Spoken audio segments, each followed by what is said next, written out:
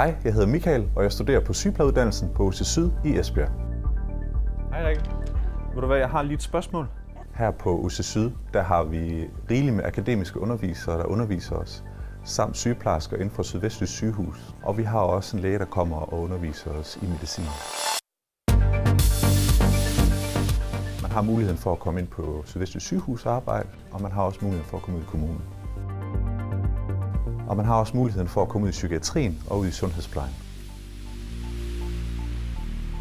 Her på UC Syd, der har vi rigtig mange muligheder for at få teori, og vi har mulighed for at få vores teori koblet på via vores simulationslokale i praksis. Skal du lidt højere op, Sara? Jo, tak. Ja. Udover sygeplejerske, så kan man også læse til lærer, pædagog, ergoterapeut, fysioterapeut og jordmor her på UC Syd.